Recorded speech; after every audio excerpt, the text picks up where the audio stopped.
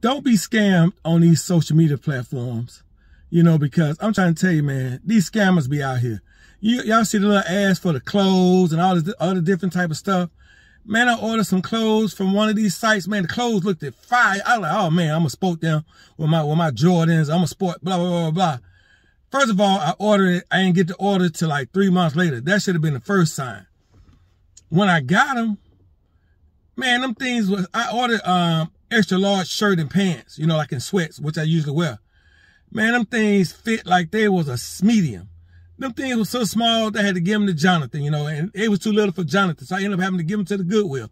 So if it's on these social media platforms and it looks fire, believe me, the better it look on a social media platform, the more scammier it's gonna be. A scammier word? Yeah, the more scammier it's gonna be.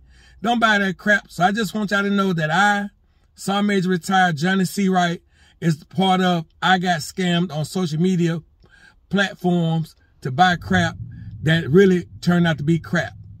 Don't get caught like I did.